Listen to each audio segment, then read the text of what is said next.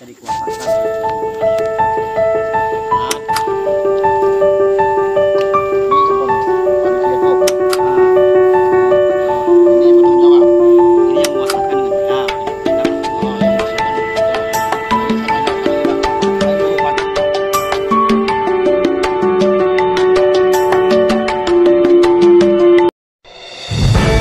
Dari Metro ada Jakarta, inilah breaking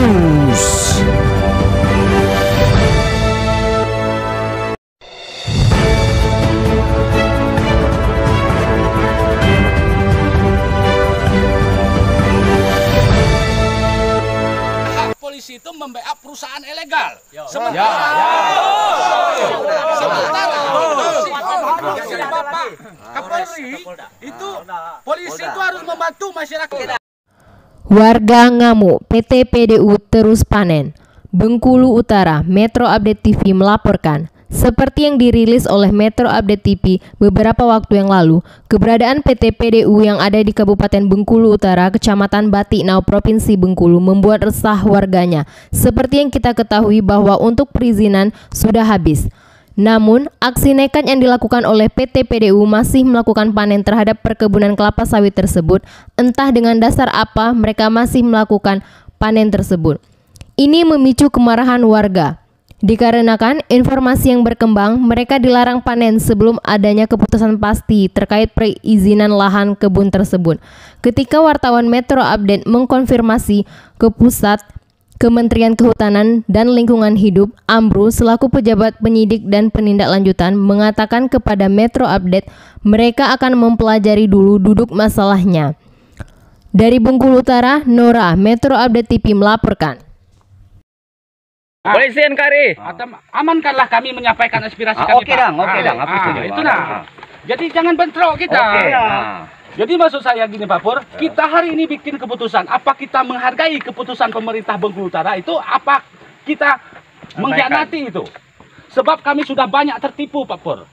Mulai tahun 2007, pe- perusahaan PT PDU membohongi kami. Mulai tahun 2013, PT PDU juga membohongi kami. Ya betul. Tahun Betul, betul, 2014, betul, betul. Mereka juga bohongi kami. Konflik lahan warga dan PT PDU kian memanas. Jangan lupa komen, like, dan subscribe. Jangan lupa komen, like, dan subscribe. Konflik lahan masyarakat dan PT PDU Purnawira Dharma Upaya yang berada di Desa Durian, Daun, Kecamatan Lais, Kabupaten Bengkulu Utara hingga saat ini kian memanas. Permasalahan ini telah memicu konflik antara masyarakat dan pihak PT PDU dengan dirusaknya beberapa pondok warga oleh PT PDU. Jonaidi, 45 tahun, selaku Forum Barisan Masyarakat Pejuang Tanah Ulayat Penyangga atau BMP TUP mengatakan atas dasar apa PT PDU masih melakukan panen di atas tanah konflik tersebut. Sedangkan PT PDU tidak lagi mengantongi izin HGU. Masa izinnya telah habis dua tahun yang lalu yaitu tanggal 31 Desember 2018.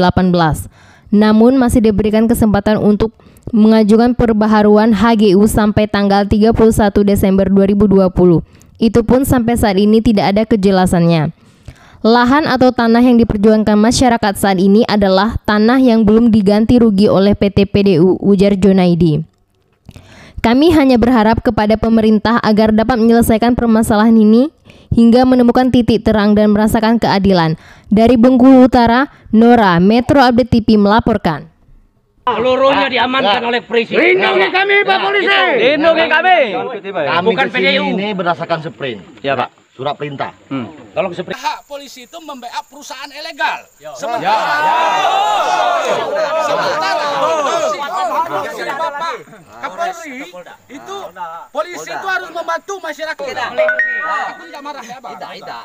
Aku nyampaikan, kami ini bukan membackup perusahaan yang ilegal. Nah, kalau ini ilegal dan tidak diizinkan pemerintah lagi PT PDU, pimpinan kami tidak akan tanda tangan. Ini Pak, bintang satu ini Pak. Nah,